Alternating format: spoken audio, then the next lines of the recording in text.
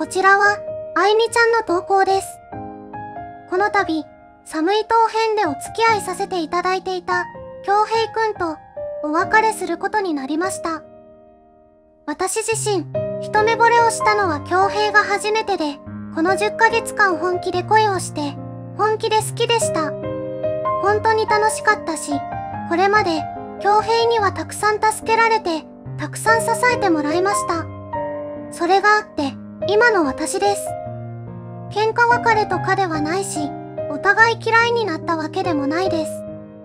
ですが、今後の二人の活動のことを考え、しっかり話し合って、今は仕事に集中しようとなりました。京平、たくさんの楽しい思い出を、ありがとう。たくさん支えてくれてありがとう。この10ヶ月間、今までにない恋愛をしてきて、いろんなところに出かけて、いっぱい笑って、最高に幸せな10ヶ月間になったよ。今までありがとう。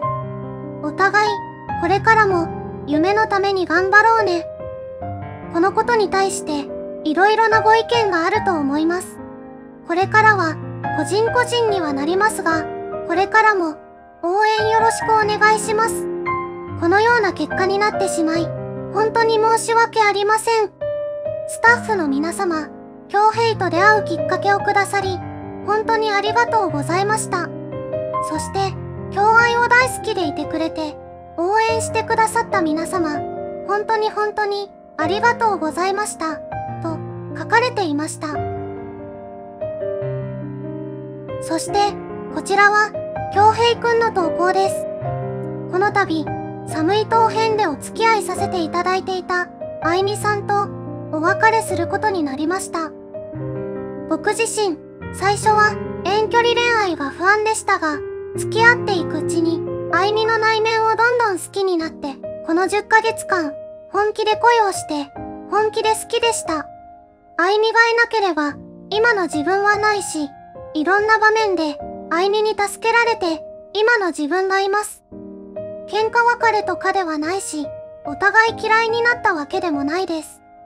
ですが、今後の二人の活動のことを考え、しっかり話し合って、今は仕事に集中しようとなりました。あいみ、今まで楽しい日々をありがとう。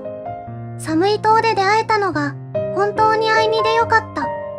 この10ヶ月間は人生の中で一番濃い10ヶ月で本当に一緒にいて落ち着いたし楽しかった。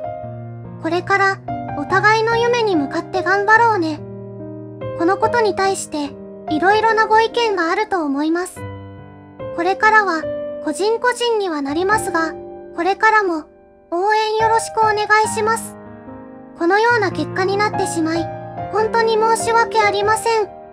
スタッフの皆様、あいみと出会うきっかけをくださり、本当にありがとうございました。そして、共愛を大好きでいてくれて、応援してくださった皆様、本当に本当にありがとうございました。と書かれていました。